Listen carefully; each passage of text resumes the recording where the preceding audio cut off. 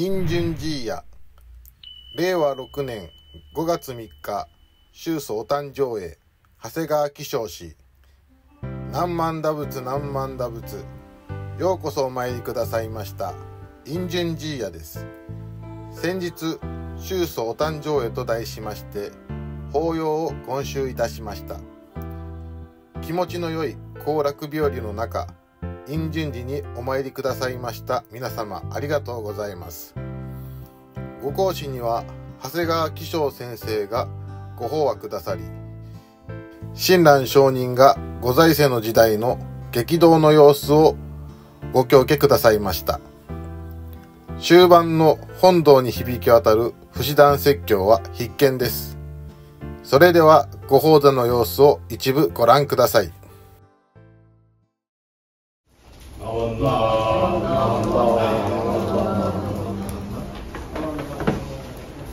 시自然の糸筋の橋たまたま南部人参の針を貫き航海の波の上に我に再度仏教の危機にあえここに祖師上人の化道によりて宝蔵院にの本勢を聞く。歓迎胸に満ち渇望肝に銘ずしかればすなわち報じても報ずべきは大悲の仏と謝しても謝すべきは市長の意徳なりと。こ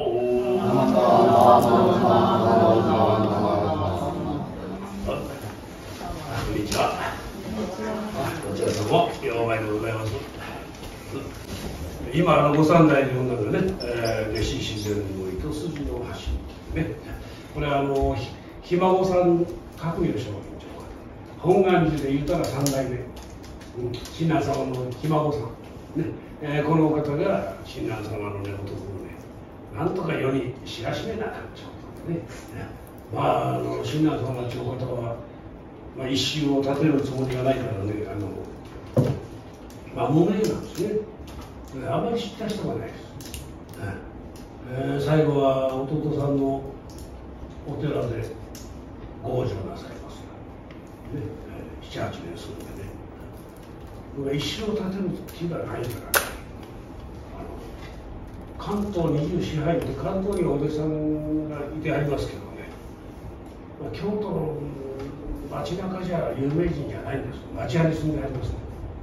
ね、関東から帰ったらね、普通のうちに住んでね、珍しいんですよ。うん、お寺も建てるんでね、えー、そういうお方でありました。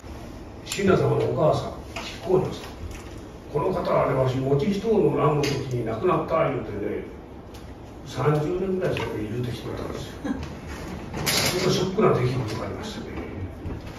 70ぐらいまで生きてはったんですよ。そのそのそういうその亀甲女さんはゆかりのお寺の演技式もらいましてね。ショックでした。だいぶ30年ぐらい嘘にとったのどこで言ったかも忘れましたからね。全書しようがないね。思ったもんですよお母さんが亀甲女さん親鸞様のねまあ今日はお誕生日ですから。執行業お父さんが日の有則さんこれ日の有則っていうけどあの地名で日の有則って言うんですよ。みんな。藤原さんです。みんな藤原さんやからややこしいでしょ。それから地名で呼ぶんですよ。藤原金種さん。あれは藤原金種さんです。みんな藤原さんなんです。よでややこしいからね地名でね、うん、あの源氏もそうです。源氏もあの皆源やからややこしいからね。地名で呼んだりね、えー、するわけですけど有頼さん。ねお父さん。でねおかしいと思ったんですよこれ。8歳の時親鸞様が8歳の時にねお母さんが亡くなっとったら何で弟がこれ何人もおるんや。ん そこは不思議に思いながら説教しとったんですよ。どうどういうかけかと年寄りの女なとかいろいろ思っとったんや。ほんならこのお母さんねあの73か。73年の往生なさったね、まあまあ両名松若丸。弟さんがこれみんなあのお坊さんになってるんです。神武さんですで慶雲さんと。行健か。これみんなみんなお坊さんになってるんですお母さんの弟。木曽義仲。源義仲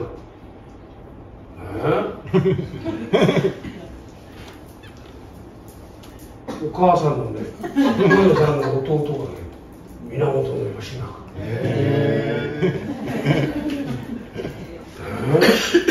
ー、おじさんですよね、親鸞様の。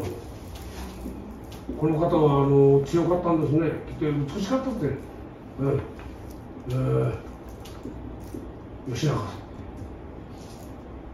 京都にあの入場書をね、えー、負けたことなかったんで戦した弟さん、うん、まず1180年にここですね、1180年に来たら親鸞様が7つ、ね、1180年。この時はもう平家がまだ威張ってますからね。持ち人をね持ち人を担ぎ出してあの源頼政公が乱を起こすこの前来た時も話したと思う。そこにお父さんは賛成してあります、うん、その年ぐらい亡くなったら信田さんが7つで亡くなっとったらこれ弟がこんだけおるのはおかしいよね。でなななんで分かるんだったら親鸞さんはね自分のことをね語れないお方私ら自分のことばっかり言いますけどね。大抵数中身取ったら。あのツヤでもそういうツヤでねびっくりしてクリストあるのかないやこの前じゃなかったのこの前お話ししとったのなんで電話もったら私びっくりしてびっくりしたって自分がびっくりした話して帰った。わ ちゃも びっくりしたって何しろって関係ないまあびっくりしたびっくりした。ねえ大体自分のことばっかり大体じっと眺めとったらね世間はそうなんです自らを語る自らばっかり語るんですよ。で親鸞様長方はね自らを語らないお方です。受けた業を語ります。あの受けた業に対しての自分の話はしあります。ね、法然様にね戦略史の書写を許されたんじゃなくてね、何年に許されたんですね、でそういう話はしあります。けど、自分のことは言いなさらんお方ですよ私らもちょっと真似せないからね。気ぃつけてくださいね。あのあんま物言わないね。つやとかつやとか言った時。いろいろ言わない。えー、そうそう。ほんで、えー、ここの図でお得度になってますけどここのだって数えですからね。みんな数えですから。ここややこしいに数えると万年齢とね。ずっと数えていけばよかったらね。うん戦後ですかね。万年齢しだした。西洋化された。からそれから正月年取ってたんですみんな。一つ。分かりやすいですよね。正月みんな一つとした。うん。それ私も今年の正月で古希を迎えました。おかげさま 膝がゴキゴキです。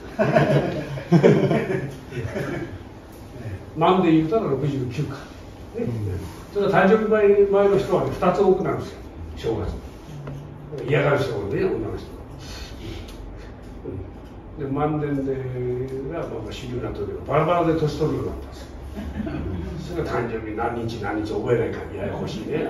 頭ははっきりしないでしょう。お腹に宿った時は命ですから、まあ、仏教的な命のね捉え方が数え年です。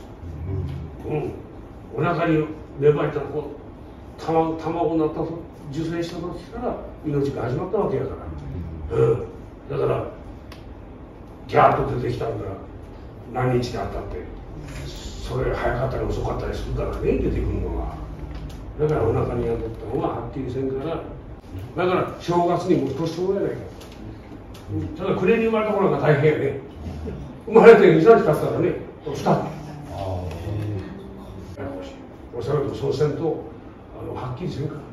今私生まれたらね0歳児って言うんですよ何が0歳児もう腹におる時はマイナスだね。えマイナスか言わんにこれゼロと言うとってた。女なんだ今マイナス3か月です。マイナス2か月です。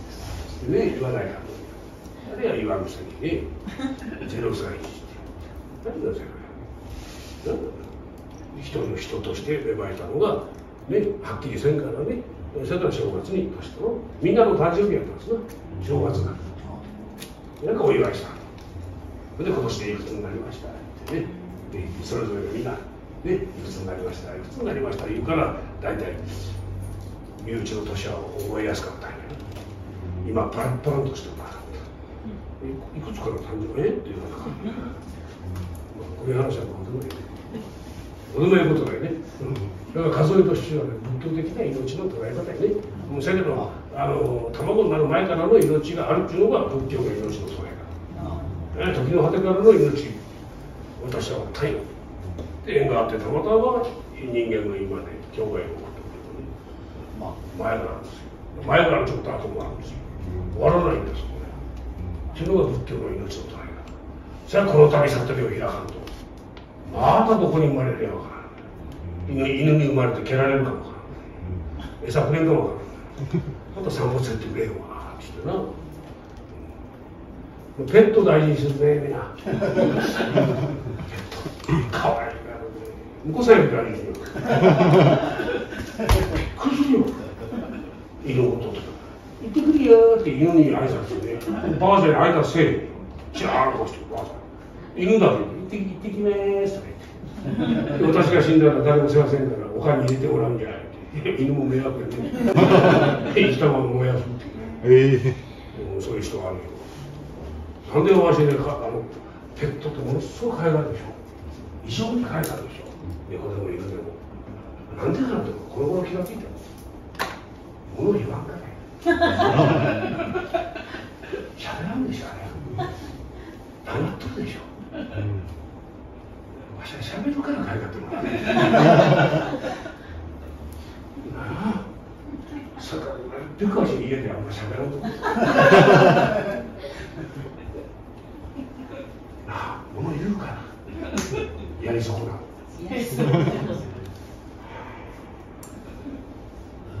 怖いよ女の人はやっぱりね23で産み合った坂さんえ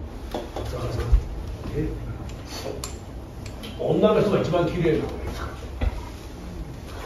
子供を産んだ直後子供を産んだ産んでない人はずっと綺麗なんやけちょあれ観音さんみたいな顔してるね産んだ直後ははあとしてね。優しい女になってね、はあ、産ん。だ直後がね一番美しい、う。ん、ちょっとしたらねもう。ちょっとしたその時赤ちゃん抱いて赤ちゃんに注文つけませんよ何も注文もないです、ね、泣いてきてありがとう涙が出流してね感動して「いやお前とくれ」その時の顔が優しいあのまんまずっと撮ってくれたらねこんないいことないんだけどねうん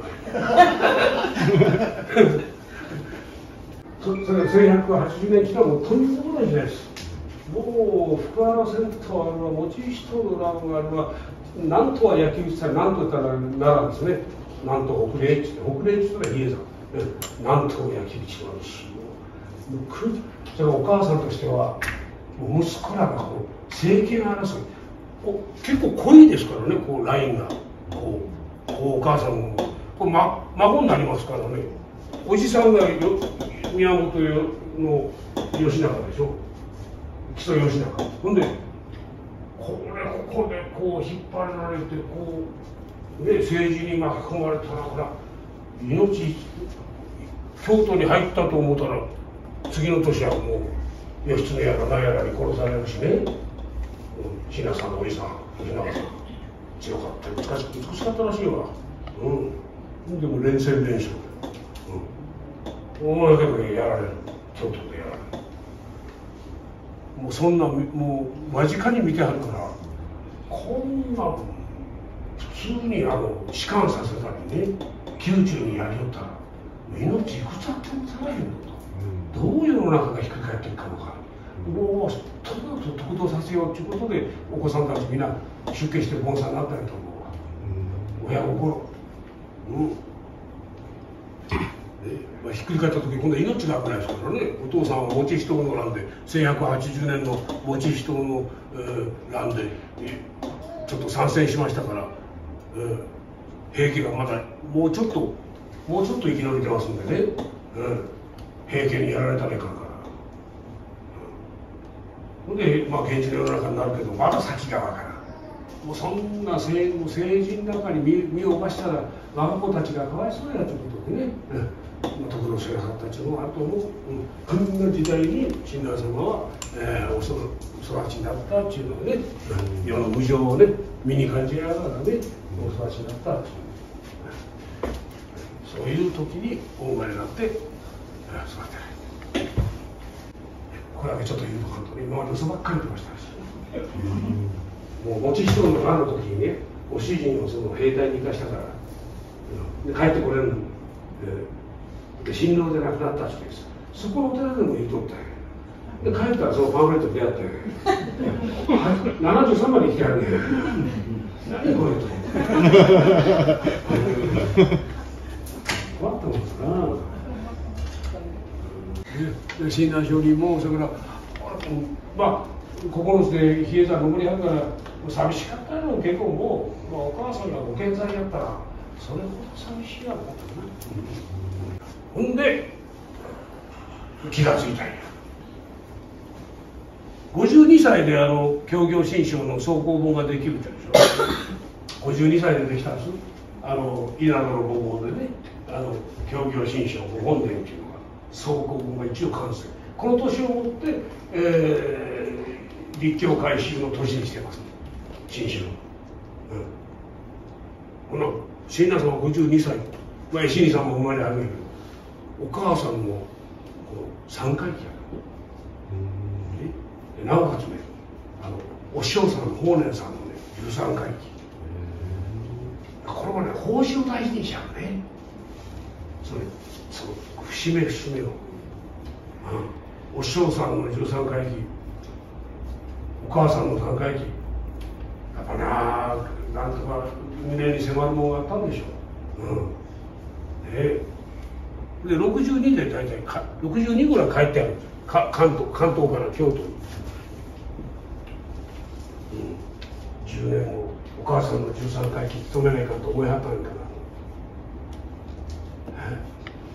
13回さっきあの最初に言うあの弟子自然の糸筋の橋にてね。鉱石あるでしょ。ある革命証言ひ孫さんがあの法音公式言うて書きました。で親鸞さんを読み知らせめなあかんということでね法音公式っていう書きました。その親鸞様の33回忌に合わせてね書いてらっしゃるんですよだからやっぱね当時はねそういうその年季っていうのをねものすごい心がけてあったんやと。33回忌に合わせて本校式書いてその年から本校を務めるようにしようってことでね信者様のご命日に。うんうんさからねで九十でご往生なさるでしょ前の年がね法然さんの50回忌なの50回忌務めたからやれないと思やったんだと思う弟さんがお寺やけどねその時は盛大に詰めやったと思うあっちこっちでそうだったと思うね浄土系の寺やったら法然さんが50回忌それ親鸞様が89の時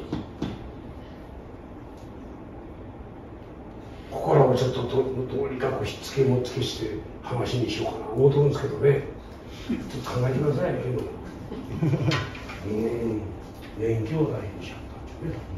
というところで皆さんも年金を大事にしてね。あの年金というかねその方をご縁にして仏法を聴聞する、ね、その方をご縁にして法を聞くというその,、ね、その先に行かれたその方が法の振る舞いを残った人にするんです先に行かれた方が仏法の振る舞いをしてください、うんまあ、その方にお礼をす。るという意味もありますけどね、うん、それけど法の振る舞いをしてくださいただ一人でもねやっぱ集めてね、うん、その方の仏法の振る舞いをね、うんじゃあこれこの見ていただいていこうって言ってね、うんそれが連気です。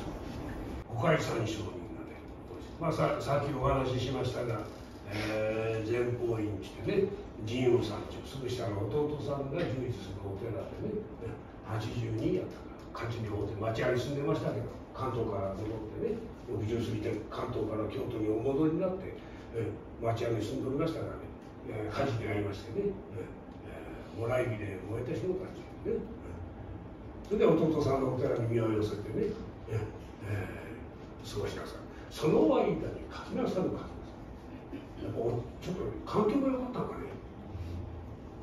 まあ83からあと間には生涯15 15 15点あるんです13点ぐらいは書いてあるね。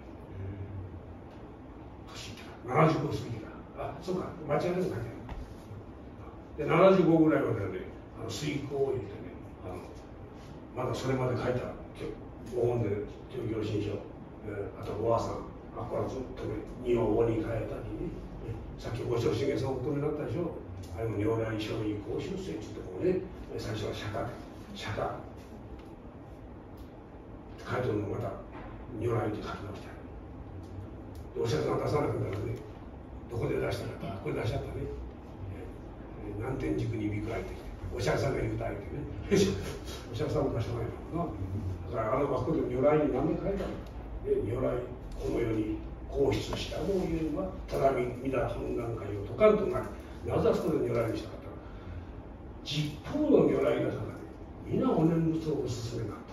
なねというねこの広大なねまあこれはこっちの話。ねでまあそれでこう前方院でね傍聴なさった。でいつも一緒におったのが蓮理傍聴蓮理さんで蓮の位とかこの方の流れがあの代々本願寺の家老職下妻家下の間と書いて下妻家、ね、下妻と瀬古蓮城とか出るでしょ、うん、でだからこの蓮理さんがねもう脱出してありますからね80過ぎなかったらだからこの方がね一生立ててもおかしないんだよねずっと一緒だようん、ね、それを立てはる、ね、親鸞様がそういうお方じゃなかったから。で女神さんも関東に行ってから一周立てるっていうのはさらさらだよ。うん。閣僚さんのおかげで新種が教団が教団だったんですよ、えー、まあええけど。時間がないからはいちょっとなな。五海三商人はご一生が間ご苦労を遊ばされご往生なされたのが亀山天皇。長二歳下月は28日馬の国京都までの工事前方院の奥座敷の一室で表はしんしんと降り積もる雪。そしにゆかりの冷えざ冷えおろしがピューッとばかり吹いてく。る音枕を取り巻くお弟子たち。さながら幼子が母親に分かるがごとく痩せを取られたるご解散をじっと眺めております。上水実金の蓮に王様は両の目からたまらず涙はらはら流しながらやれやれおいたわしやいたわしやと御身は藤原氏にお生まれになられ絹の布団に金屏風栄誉映画の天井人が主上サイドが食べとは言いながら鉄鋼家藩に菅の傘。あの道やまさか越えさせな昨日も山路で日を暮らし今日も宮まで夜を明かす。あの辻堂あの古寺。宮の拝殿仮の宿門前の石を枕となされご苦労なされて遅れたわ。全くご自分のためじゃない。今日参ったご恩知らずの我らがため。今お師匠様が死なれたらこれから何を頼りに日暮らしをしようか。名もは皆仏のご褒儀はおのずと消えてしまいませんじゃろう。この蓮にの腹渡は張り裂けるようでございます。お聞きなされたご解散苦しい息のその中からこれ蓮にを増す方よ。我が年極まりて安養の浄土に元気すというと。和歌の裏が肩をなみ寄せかけ寄せかけ海岸に同じ一人いて喜べば二人になるぞ。二人いて喜べば三たになるぞ中の一人は死ぬらんが親鸞が死んだら寂しくなるじゃろ。財産一文残すじゃなし。畳一枚引くでなし。お世話一家事立てるでなしじゃがの日本六十四州はつつうらうら羽生の宿の隅まで。南無阿弥陀仏南無阿弥陀仏。お念仏の声のするところがこよなき親鸞が住みかじゃのよ。